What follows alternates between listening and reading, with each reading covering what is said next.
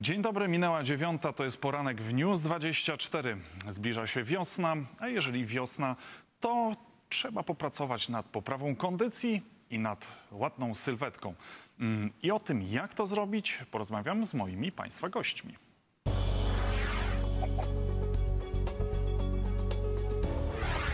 A moimi Państwa gośćmi są trenerzy personalni Anna i Patryk Kamińscy. Dzień dobry. Dzień dobry. Dzień dobry. Zima e, często przynosi skutki w postaci tak zwanej oponki. Mm, Co zrobić, żeby wiosną jej nie było? W pierwszej kolejności przede wszystkim należy za- zadbać o aktywność fizyczną. E, Robi się coraz cieplej na zewnątrz, więc takie aktywności na powietrzu są jak najbardziej wskazane w tym momencie. E, Jeśli chodzi o zalecenia, to Światowa Organizacja Zdrowia zaleca co najmniej 30 minut aktywności fizycznej każdego dnia. I warto tutaj zacząć od takich lekkich wysiłków jak spacery, jazda na rowerze. Jeśli chodzi o bieganie, tutaj kluczowa będzie technika poprawna, e, więc jeśli jesteśmy osobami początkującymi, warto na początku zgłosić się do trenera, aby objaśnił nam podstawy, żeby po prostu nie zrobić sobie krzywdy. E, Jeśli zależy nam na redukcji masy ciała, warto wykonywać treningi cardio, e, czyli to są właśnie takie długotrwałe wysiłki o umiarkowanej intensywności. E, Korzystnie bardzo wpływają na układ krążeniowo-oddechowy. E, No i do tego warto włączyć ćwiczenia wzmacniające, które możemy wykonywać nawet w domu. Oczywiście też em, fajn, fajnym e, dodatkiem do tego właśnie treningu e, jest e, aktywność właśnie fizyczna ze znajomymi. Najlepiej właśnie wybrać się na taką, na taką mm, wyjazd, wyjazd rowerami na, taki bieg ze znajomymi, żeby, żeby miło spędzać czas, przyjemnie, a przy okazji aktywnie.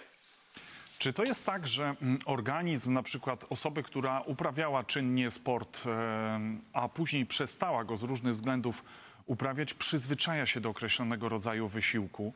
Czy jest tak, że mm, wiadomo, jeżeli uprawiamy dłu- przez dłuższy czas sport, jakąś aktywność e, fizyczną, mm, mamy sylwetkę, mamy kondycję, przestajemy to robić, organizm e, tak naprawdę domaga się tych samych, il- tej samej ilości energii, e, przybieramy e, na masie, mm, orientujemy się, że troszkę już za dużo, chcemy znowu ją zgubić, ale na przykład nie uprawiamy tej samej dyscypliny, tylko uprawiamy inną i nie możemy tej e, masy zgubić. E, Co zrobić właśnie, jeżeli chodzi mm, o taki poprawę kondycji w, w sytuacji, w którym byliśmy sportowcem, przestaliśmy tą aktywność uprawiać i chcemy do niej wrócić? Na pewno zaczynamy sobie spokojnie, też nie możemy już od, od razu zbyt mocno przeciążyć organizmu, też możemy się wtedy zniechęcić. Także my zalecamy zaczynać sobie po prostu spokojnie od takich lekkich treningów i stopniowo z każdym kolejnym zwiększać intensywność. No tak, E, to co, o, o którym e, Pan mówił, to jest tak zwany też efekt jojo. Efekt jojo właśnie występuje, kiedy właśnie są te e, takie duże różnice pomiędzy trenujemy, nie trenujemy, wprowadzamy e, złą dietę e, i to tak, tak później może nam wyjść troszkę na, na niekorzyść na, dla naszego organizmu i wtedy warto na, na, pewno, e, na pewno udać się do specjalisty, bo specjalista powinien nas pokierować odpowiednio e, i i pomóc nam właśnie w utracie tych kilogramów, ale przede wszystkim e, zwiększyć naszą sprawność, bo o, to, o tym mówimy i żeby nam ten wysiłek sprawiał przyjemność, radość, żebyśmy mogli dostarczać organizmowi e, endorfin i pozytywnych, pozytywnych bodźców, które później nam, nam e, pomogą utrzymać i wytrwać w, w naszych postanowieniach, bo tutaj właśnie e, każdy, każdy powinien sobie określić właśnie cel przed tym e, i żeby ten cel był w miarę adekwatny i, e, i osiągalny w miarę. Tutaj wspomniał Pan o diecie. Mm, Czy jest jakaś dieta wspomagająca taką wiosenną, mm, pop, wiosenne dążenie do poprawy kondycji i sylwetki? Na pewno prawidłowe nawyki żywieniowe. E, My tutaj nie polecamy żadnych konkretnych rodzajów diet. E, Aby mm, zredukować masę ciała, konieczny jest po prostu deficyt energetyczny. Czyli musimy jeść mniej niż nasz organizm potrzebuje lub po prostu ruszać się więcej. Oczywiście mm, pomocne będzie stosowanie właśnie wprowadzanie takich prawidłowych nawyków żywieniowych. E, No ale właśnie też nie polecamy jakichś konkretnych diet, e, tylko po prostu takie racjonalne żywienie.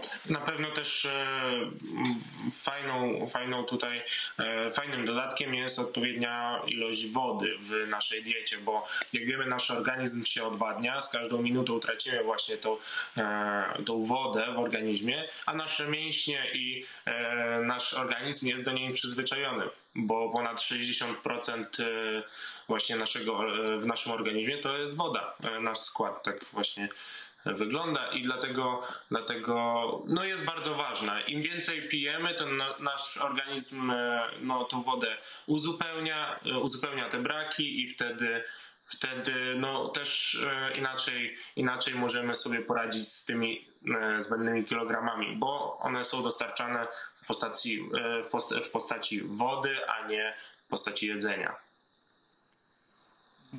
Dzisiaj e, jest wiele możliwości, żeby taką aktywność e, fizyczną mieć właśnie poza domem, na świeżym powietrzu. Są siłownie plenerowe, ale są też takie miejsca, w których takich siłowni plenerowych nie ma.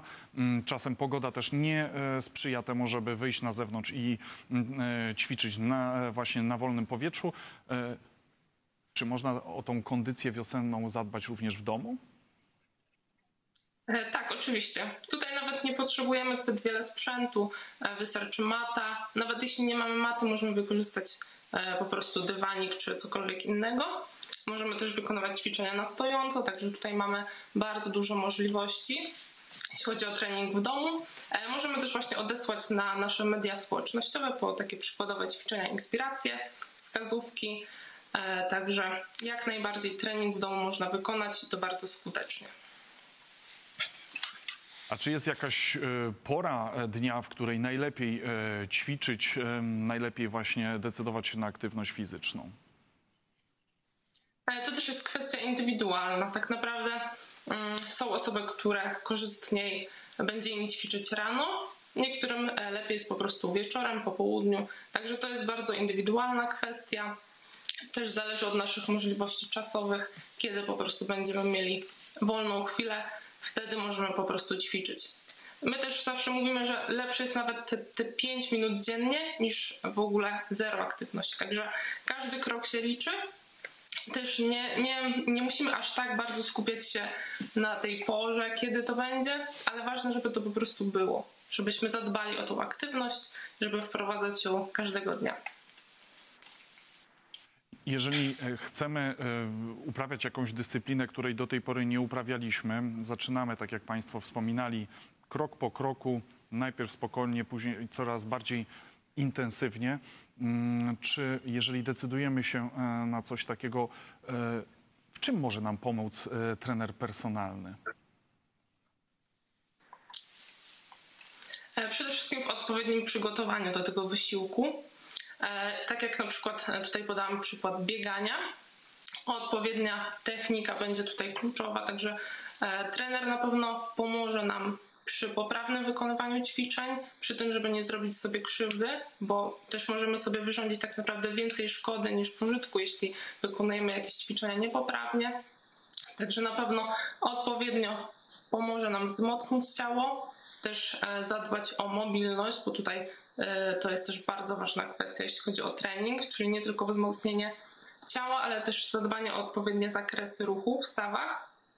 E, Jeśli właśnie mamy mało ruchu w ciągu dnia, te mięśnie zaczynają być coraz sztywniejsze, ruchy stają się ograniczone, także to jest e, kluczowa kwestia, o którą na pewno każdy trener powinien zadbać. E, Na początku treningu, na takiej wstępnej konsultacji, zawsze wykonuje się testy diagnostyczne, które pomagają nam sprawdzić właśnie zakresy ruchu, postawę ciała, e, więc od tego tak naprawdę każdy trener powinien zacząć pracę ze swoim podopiecznym. I wtedy ustalamy następnie cel, e, jaki chcemy osiągnąć i stopniowo wdrażamy plan treningowy. I my zachęcamy do tego, żeby e, w związku ze zbliżającą się wiosną zadbać o kondycję, zadbać o formę, wyjść na zewnątrz, na świeże powietrze mm, i być bardziej aktywnym. Dziękuję bardzo za rozmowę. Moimi i Państwa gośćmi byli trenerzy personalni Patryk e, i Anna Kamińscy. Dziękujemy. Dziękujemy bardzo.